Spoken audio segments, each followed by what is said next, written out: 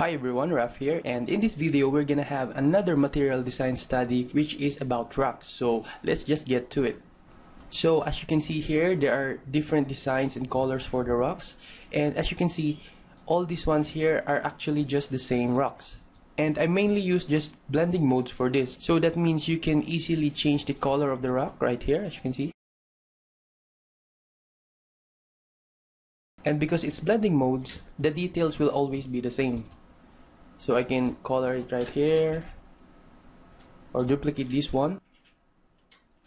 And then just simply click on the swatches palette here and you can easily change the rock's color. Okay, so we're just gonna hide it for now. And then we're gonna start again. So I'm just gonna use the pen tool and we're just gonna create a simple outline or silhouette for a rock. And then first we're gonna make the darkest part or value for the shape. So I'm just creating the detail for the bottom part here. And then I'm just gonna press Shift D to make it multiply or turn it into multiply. And then select both and then use the shape builder tool again to remove the excess part. So we're gonna remove this part right here. So just press Alt and then drag along. Okay, now we're gonna make the lightest part or the lightest value for the rock. So we're just gonna draw a similar shape on the top right here. You can also create smooth curves like this, or you can even just plot out the design so that you can show more rigidity in the shape. So I'm just clicking right here. And then we're gonna press Shift S again to turn it into screen mode. Select both again or just shift select the shapes press shift M again and then remove this okay so there's your initial rock. And then we're just gonna create the details right here. You see these ones? This actually adds a lot to the rock and we're just gonna make it really subtle. So we're just gonna draw the similar shapes again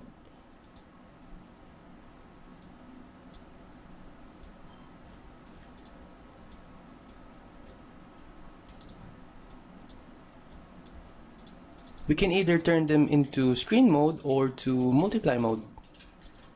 So it's just actually based on your preference. So I'll just stick with the multiply mode right here. And I'm gonna lessen the opacity right here maybe about 50% or so. And then select the base shape right here our base shape for the rock. And then select both. And then just remove the excess again. Also remember you can easily change the opacity of the shapes right here. So this is a bit too much for me. So I'll just turn it into 70% and this one also I'll just turn it into 70% and then we're gonna add those highlights right here. So as you can see in this sample there are these highlights on the rocks. So in order to do that you can actually just lock these guys and press ctrl 2 or you can select them both and then go to object lock and choose selection and then we're just gonna zoom in and create the highlights for the rock and then turn it into screen mode by pressing shift S. And we're just gonna add the same detail on the other parts of the rock we can also add those other details for the rock like these ones. It's actually just the same for the highlights and the crack parts right here. So we're just gonna create a different shape but we're actually gonna have the same approach so I'll just use the pencil again.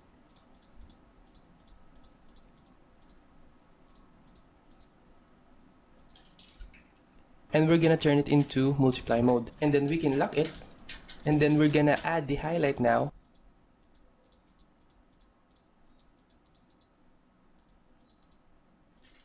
You can actually lessen the opacity of this shape so that you can see the artwork under it and then just continue your shape.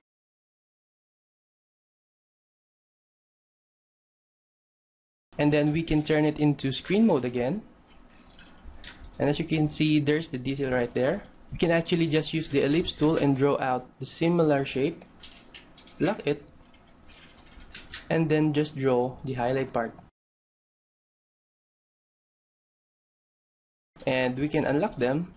And you can even reuse this. So in my case I'll just group this by pressing ctrl G. And then I'm gonna press alt and then drag it out and as you can see I was able to duplicate the shape and then we can just move it on the other parts of the rock or even make it smaller or rotate it a bit by pressing R. So I'm just holding Alt here and dragging them out.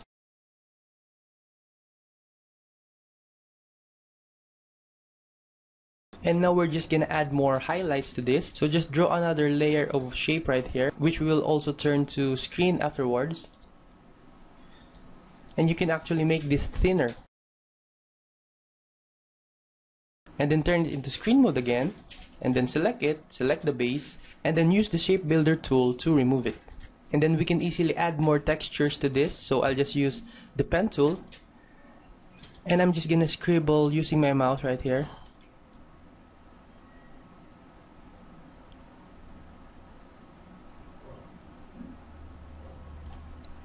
And then we can press I to sample the same effect we have right here. Like so. And then you can even lessen the opacity because this is just another added subtle detail. So 30% or 40% will work. And we can create more on the other sides. And as you can see I'm just using my mouse right here so that it will actually look more scribbled.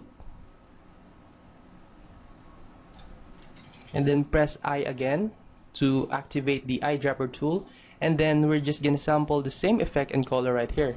So and then we can actually remove the excess part right now.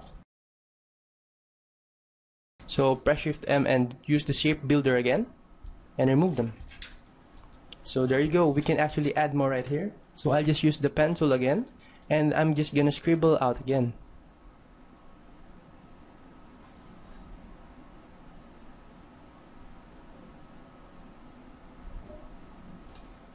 Now we can use the eyedropper tool again and sample the highlight from here. And you can also lessen the intensity, so 30 or 40 will work. And then we're just gonna remove the excess again. You can actually lessen it. I think 30 or 20 would work. Okay, so there you have it. We're just gonna select them all again and press Ctrl G to group them. Okay, now, so the trick here is since we've used blending modes, and we have the same color value for all we can actually just duplicate them and then just click on the swatches right here. And we will have the same shape and the same stone but with actually a different color scheme. So we actually took advantage of the blending modes and we can actually create more shapes by just dragging out the corners here. Like so. Maybe smaller one right here you can actually flip it so I'll just press Ctrl R and I'll just flip it vertically. Like so so I can stretch this out duplicate it. Let's just move it right here. And as you can see it was really easy to create and it's also a great way to populate your scene by just using one asset so you can see we've actually just created one shape or rock here and then we were able to create this simple scene right here by just duplicating it and transforming it into different proportions. So we're just gonna add some more. We can actually enlarge this one and duplicate it again. Maybe this time smaller, flip it again. Maybe we can add one right here on the top. Maybe we can flip it and then we can actually just use the same set again and then we can change the whole color theme